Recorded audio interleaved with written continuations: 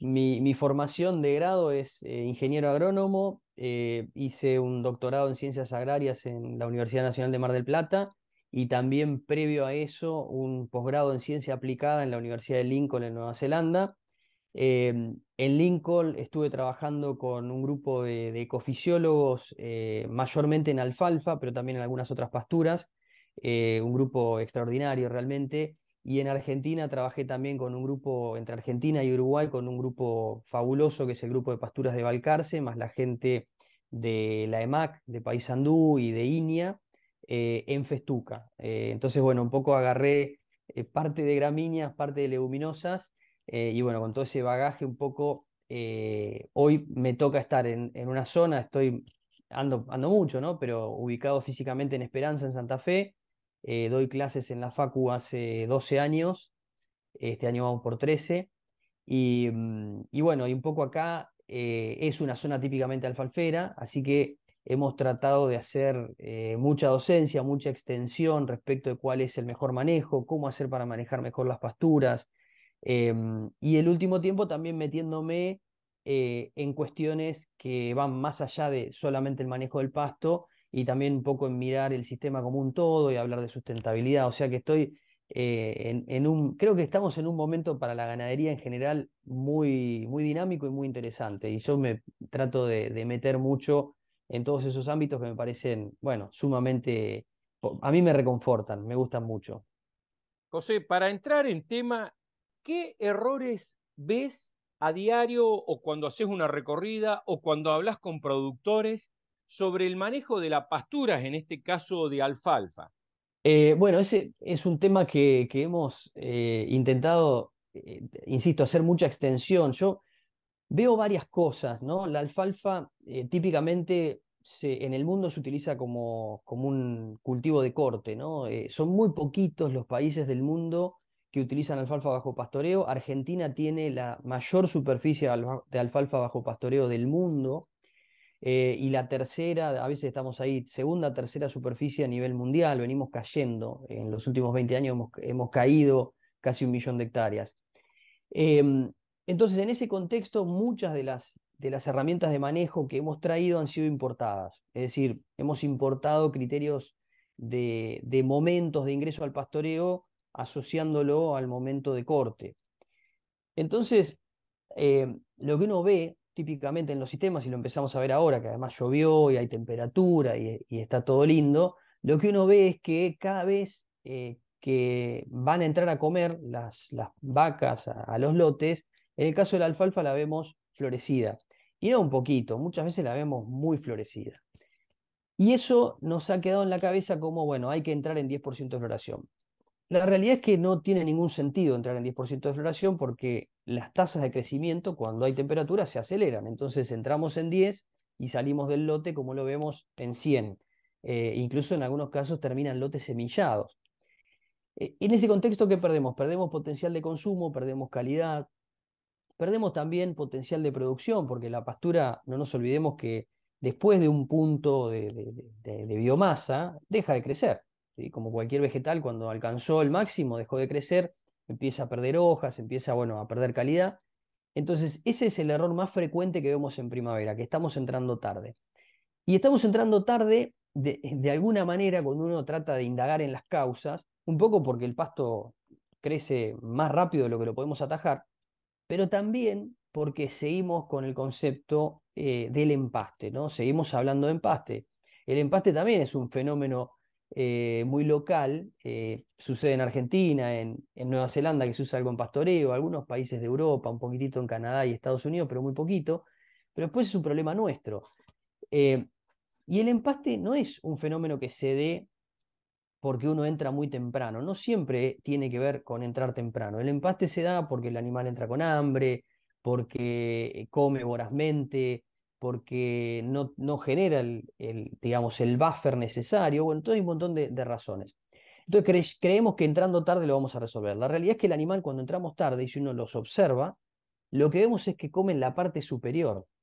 Y la parte superior es la dinamita, ahí donde, está, donde va a explotar la vaca. Y si, a menos que yo haga una, un pastoreo extremadamente intenso y ponga una cantidad enorme de animales que no, no les permita prácticamente moverse, si yo les doy libertad de movimiento, el animal va a elegir, y en ese elegir va a elegir lo más tierno. Entonces, ¿qué planteamos? Bueno, hay que entrar más temprano. ¿Y qué tan temprano? Y hablamos en algunos casos de nudos, hablamos de altura, trayendo un poco conceptos que, que también hemos eh, empezado a probar de Nueva Zelanda, eh, ellos entran temprano y temprano a veces son 25 centímetros.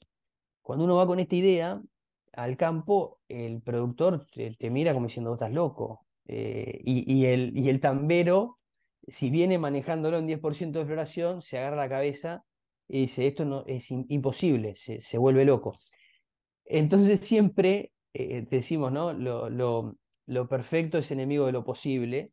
Entonces, buscar un punto intermedio. Yo entiendo que no podemos entrar con 25 centímetros, bueno, pero tampoco entremos con 10% de floración, tampoco esperemos tanto.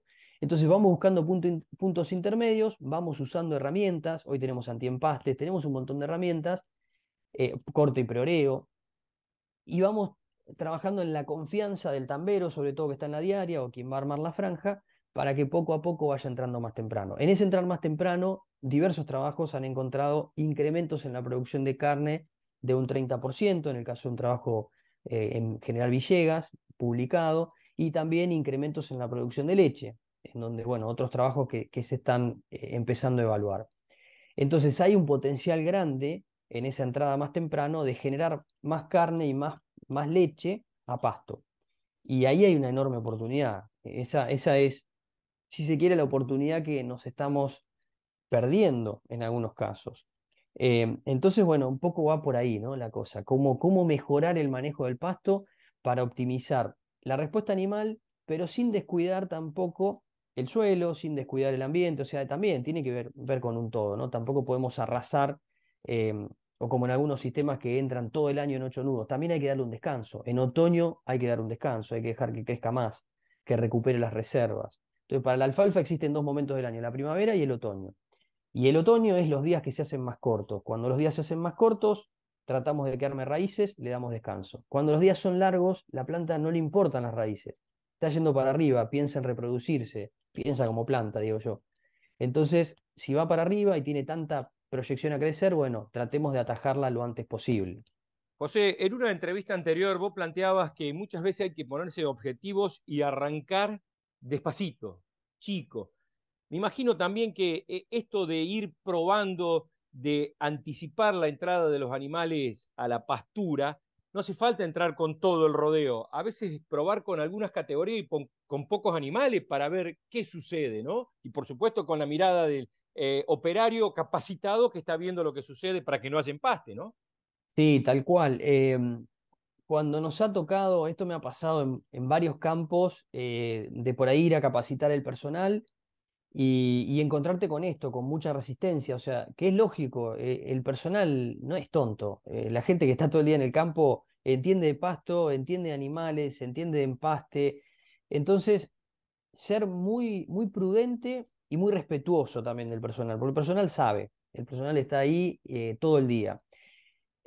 y, pero a la vez también desafiarlo, desafiarlo un poquito, decirle, bueno, mira, como, bien mencionás, ¿no? Vamos a probar, vamos a arrancar eh, comiendo antes, vamos a arrancar con una categoría por ahí, no sé, la vaca, vamos a arrancar con la vaca seca y vemos qué pasa.